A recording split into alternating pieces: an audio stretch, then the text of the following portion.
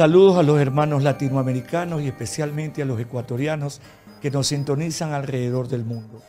El programa del día de hoy es para rescatar al Ecuador mediáticamente, pues hemos sido víctimas de un ataque muy potente, orquestado sobre todo desde México, también de España. Verán, hay cosas que no sabe nadie en torno a la Embajada de Ecuador. Por ejemplo, que antes del señor Glass estuvo el señor Ricardo Patiño, la señora Gabriela Rivadeneira, Walter Solís, Soledad Buendía, Luis Fernando Molina, Carlos Viteri. ¿Saben qué pasa? Que las embajadas normales le brindan asilo a activistas antiaborto o antiminería, defensores de la Pachamama, de mil actividades. El mismo señor Villavicencio, asesinado, tuvo que irse a esconder a la selva. Ninguna embajada le dio nunca un asilo, igual que este brillante periodista Zurita.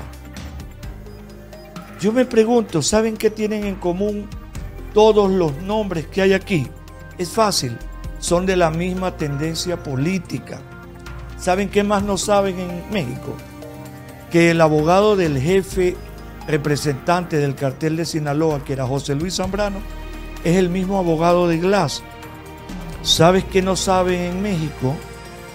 Que el señor Leandro Norero, esto lo sé porque hay mil noticias y mil programas que hablan de ello, pagó según las grabaciones y chats del caso Metástasis a la libertad a un juez en la ciudad de Manglar Alto para que le conceda el habeas corpus a Jorge Glass. Y aquí termina el programa El Cóndor con una pregunta. Luego de saber este prontuariado, ¿ustedes creen que Jorge Glass merecía un asilo? Me despido desde Ecuador.